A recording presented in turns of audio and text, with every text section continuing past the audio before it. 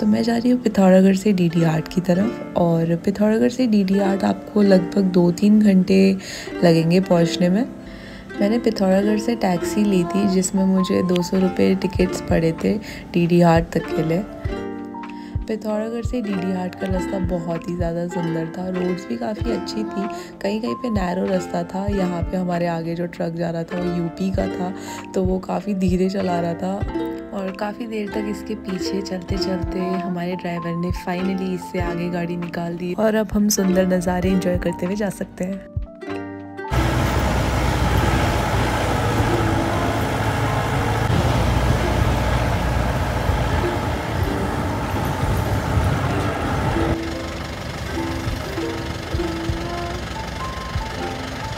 तो जब हम डी डी आर्ट पहुँचे तो हमारी नानी का डॉग हमें मार्केट तक लेने आ गया था और फिर उसने हमें घर तक का रास्ता भी बता दिया। मानना पड़ेगा, बहुत ही स्मार्ट कुत्ता था।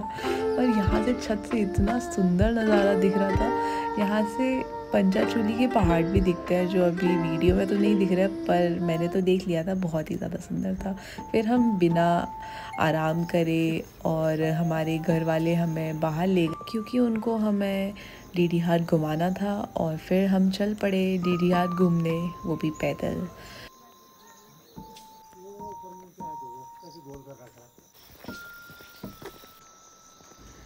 यहाँ पे इस टाइम पे बहुत ज़्यादा बंदरों की आवाज़ आ रही थी पेड़ से और साथ में मेरे भाई को बिल्कुल डर नहीं लग रहा था और वो कुछ अजीब व गरीब बातें कर रहा था इस तरह। कितने दूर सकता हूँ मुझे क्या लगता है